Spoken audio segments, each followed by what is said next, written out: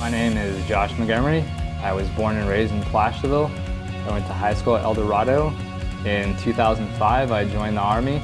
Did eight years, I got out in 2012. I heard a lot of really good stuff about Thompson's, Buick GMC, and Toyota, so I decided to put in an application. I'm really excited. It's a family-owned business and operated. I'm excited to work with people and customers, and it's really a no-hassle environment.